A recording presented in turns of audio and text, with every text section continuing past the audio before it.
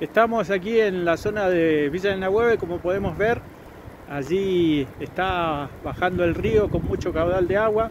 Vemos la cancha de césped sintética. Bueno, eh, ha caído muchísima agua y vemos uno de los costados donde ha estado afectado ese sector.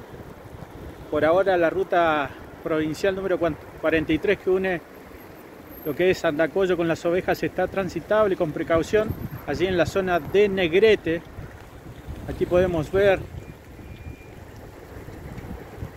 gran cantidad de agua que ha caído en el departamento Minas y es otro de los ríos que muestra su gran caudal de agua.